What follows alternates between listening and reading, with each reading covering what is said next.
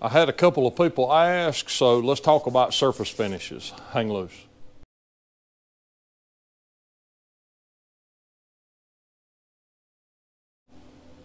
So this is the uh, V10 Viper Cam that we just ground all the mains on.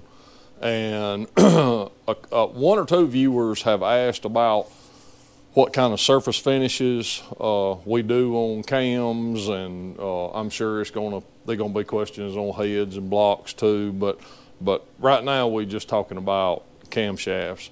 So I got the profilometer set up, and I'm gonna run it and let you see what the surface finish is on the journals we just ground. Come on in here so they can see it running.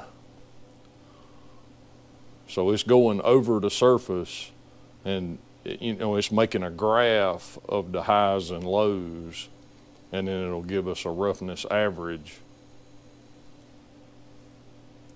All right, so the, the journal is 8.69. So, um, so back when I was in machine shop, uh, industrial work, you know, most ground shafts would have a call out of 16 or better. So 16 would be um, very acceptable. And uh, Billy Godbold told me that eh, when uh, at comp, um, anything under 20, 20 and down was acceptable. So uh, that's the, and I'm pretty sure that the lobe is going to check the same, but we'll we'll check a lobe too, just just so we got a comparison. And we'll just see what the lobe says. But I'm sure it's going, to, I mean, it's the same wheel, so it's going, it's going to be the same thing. Uh-oh, I didn't have it, I didn't have it far enough back.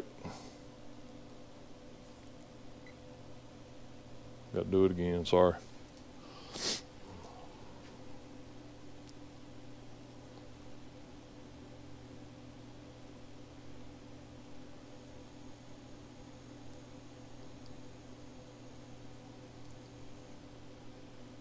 Yep, so, I mean, it's basically a nine.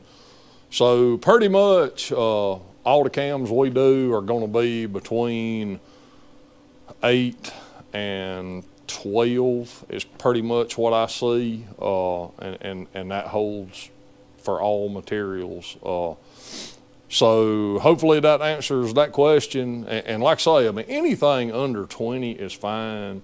Uh, you know, some people say the, the slicker the better.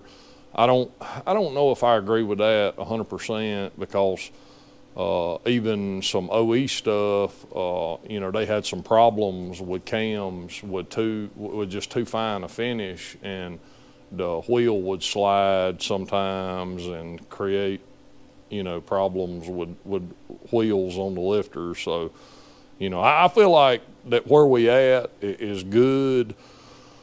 Going below that I just think it's diminishing results for the labor involved to get it lower than an eight. I just, I don't think it'll pay any dividends. So, and I see cams, uh, you know, sometimes when we freshen these motors we build, we done the cams in them and I mean, the lobes look good. There's no lifter issues. So I'm definitely happy with where we're at now. So uh, ho hope that helps. Hope that was informative.